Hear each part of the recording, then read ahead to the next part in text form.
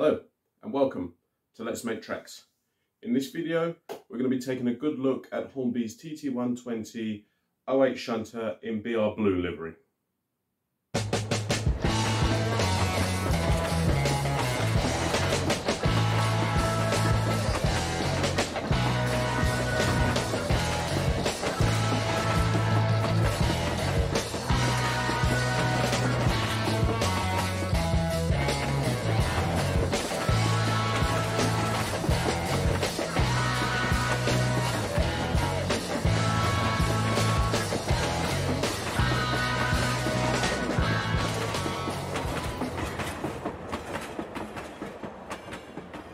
Okay, so here we go. BR08 Gronk. Pull her out, take a look. Oh, rip box. That was silly. Right. So, comes with the standard instructions. Tells you how to put all the pieces on more on that in a minute and how to put in your DCC chip and obviously take the shell off. Now, when I started preparing for this video, I actually tried to apply the detail pack and these front cables here, I don't know if you can see them from there, I might have to put up a photo, but they're incredibly fiddly to put in, so I was using a pair of tweezers. And what's happened is, I was on the back actually, was trying to put the cables and the brake pipe in there and all of a sudden it went bing, and it was never to be seen again. Well this happened twice actually. The first time I actually ran a hoover around with a sock in the end and I managed to rescue one of the pipes but um, as uh, ignorance would have it I did the exact same thing again bing, and this time it is truly gone and same with the other one bounce. And these things are tiny and my carpet in here is pretty dark anyway. So I'm thinking they didn't land on the carpet because the hoover trick didn't work again. But I contacted Hornby. Now this has nothing to do with the fact that I'm filming it for a review or anything. I didn't mention it. But they sent me an additional bag of uh, bits so I'm going to attach them real quick and then we're going to get down on the light box. Okay, so here we are down on the light box. Got the 08 obviously spinning around there. So I have managed to install all the detail pack on the front and the back. We'll have a better look at that in a second. So let's start with the front end. So the radiator grills are all nicely molded, get some good weathering powder in there. The lamps are I believe they're part of the mould, not separately fitted, but I could be wrong. And they've been separately painted. So down on the buffer beam, obviously we've got all the um, bits and pieces from the detail bag now fully installed. Um, I have not put the coupling hook on there because it just seems a bit big, in all honesty, and it would um, get in the way of the uh, the actual coupling. So I've decided to just avoid them altogether. Moving to the back, same thing really, all the pipes supplied now. Uh, have a tiny, teeny, teeny drop of glue, super glue, um, on the socket to stop them coming out because I really don't want to have to put these back in again. Uh, same again, the coupling hook has been omitted because it it's oversized and the actual coupling would get in the way. But uh, speaking of couplings, um, the OH shunter obviously does come with couplings at either end.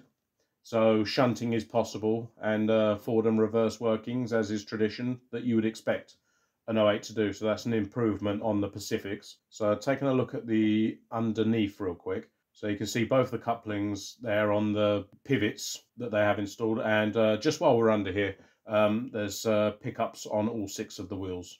Okay, so moving back to the uh, decoration of the locomotive. Um, all the decals have been applied very nicely. They are all legible, although my camera's not picking up everything. Um, I think the only one that I'm struggling to read is this little black uh, box down here. I think it's the TOPS. I'm, I'm not 100%. diesels aren't my uh, aren't my main focus. So I'm I enjoy the 08 Gronks, but uh, I'm not an expert. So yeah, I'm not an expert. That's all I'm going to say. So moving back towards the cab, uh, there is detailing inside on the control panel, although they probably could have got away with not doing this because, I mean, me trying to get this photo right here was incredibly difficult to get the right angle. So it's nice that they've done it, but they probably could have put this effort in somewhere else that was more obvious. Uh, let's see, also on the cab, we have a whistle installed on the right side and the front windows are also in the down position. And we've got the vent on top of the cab roof, which is also in the open position. And that's a molded vent. Same with the windows. You can't change their position. It is what it is. The coupling rods on the side are prototypical in that the middle axle is driven by the cog that we saw underneath and the wheels at either end are literally driven by these yellow rods, which is nice. If you remember back to the really old versions of the 08 models where it looked like they just put the uh, shell on top of a pannier tank or another standard 060 and they've gone all out with these rods here with the um, outside rodding. I'm not sure if that's the correct term. Again, I'm not an 08 expert, but I really appreciate that that feature has carried through into the TT version of this model. I always appreciated moving parts on locomotives. Let's say that. So obviously the 08 is my favourite diesel because of these these exact moving parts.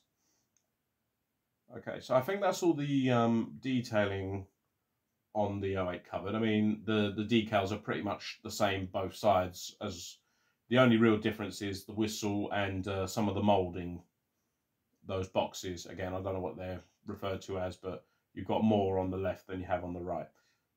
Uh, just while we're on the table, the locomotive weighs in at 48 grams. The Gronk from buffer to buffer measures in at 750 millimeters. And width wise, from the locomotive's widest point, which I make the rods, it comes in at 250 millimeters.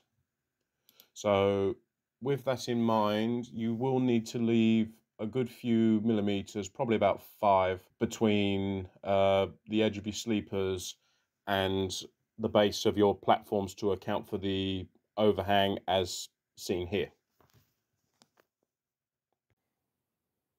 Okay, so as is tradition, the uh, manufacturer recommends you run your fresh out the box locomotive 30 minutes in each direction. So, got one of my coins. This one's the Bristolian. If you know where I can get any more of these, please let me know. Great British Discovery Tours. I do need more of these, I've only got the two.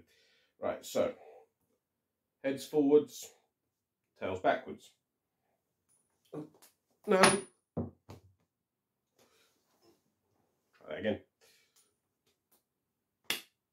Yeah, I caught it. And we've got a tails today. So Gronk is going to start in the reverse direction. So um, still need a flag.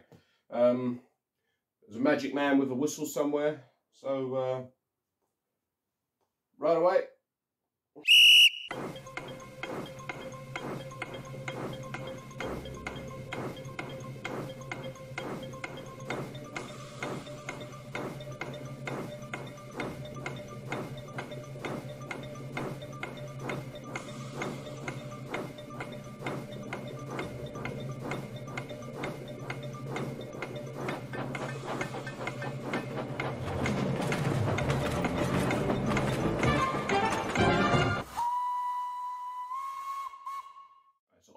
Obviously I've owned my shunter for several months, just like the Flying Scotsman, so that was probably unnecessary, but well, hey, do it anyway for the video.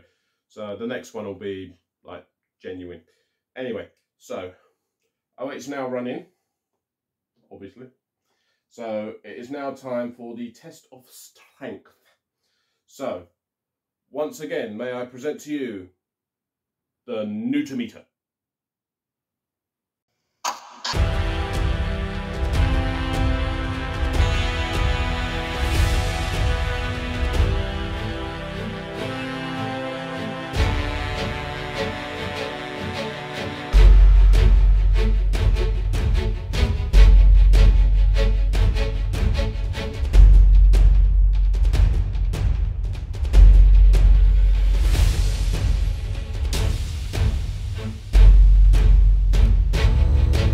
Over before.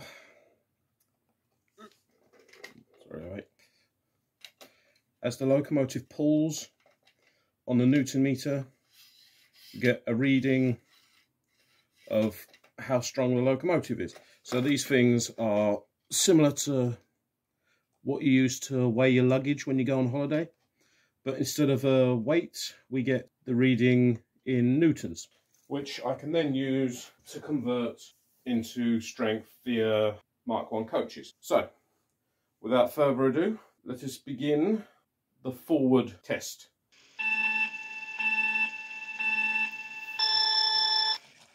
Right, the meter reading is coming in at, I make that 0 0.06.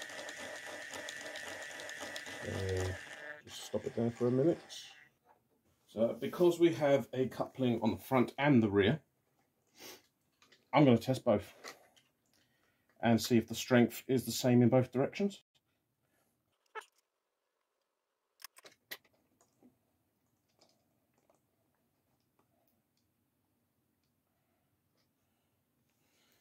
Okay, ready?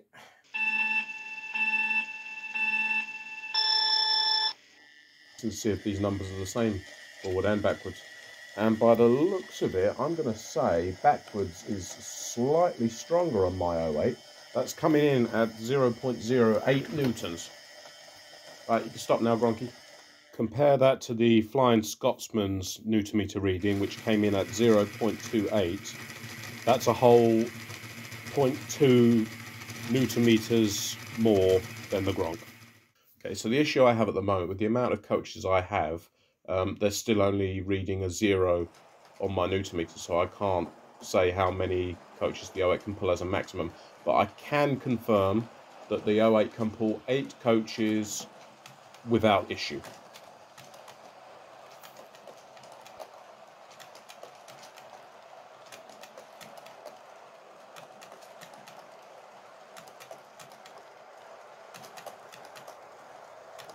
So that does mean, unfortunately, the 08 does not come away with the title, and the retaining champion is, of course, Flying Scotsman. Right, so we're back down on the layout now. So next thing is the crawl test. So I think the only fair way to test the crawl for the 08 is to go over some points. So I've set up these wagons over here and we're going to do a little bit of shunting. So Let's get around the other side of the board, shall we?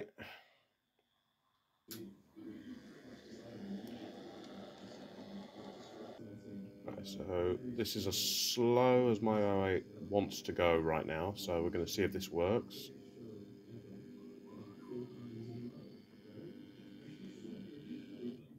Pants. Nearly made it. All right, let's, uh, let's drag you back and we'll try that again. Ugh, come on.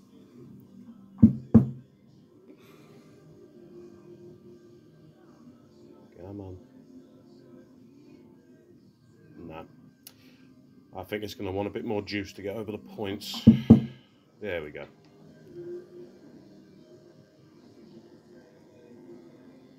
Right, let's go get the others. Oh, not coupling up. Right, you know what I've done here? I've done it on the curve, which is perhaps the worst place to try and couple this up. So it's just uh, Come on. There we go. Right. Let's try that again. So, a little bit of juice over the points and at a normal running speed, it seems to have handled them just fine. So, switch these back over and we'll try it on the straight. Of course, both these wagons are on straight. I'm hoping there shouldn't be an issue with coupling. Yeah, it looks like that engaged. Right, so slowly over the point. Yeah, that seems to work fine. So they're not 100% reliable over the points. Right, so for the sake of fairness, I'm going to show coupling up on the straight section. And as you can see here, it works absolutely perfectly fine. So don't do coupling on your curves is the moral of the story here.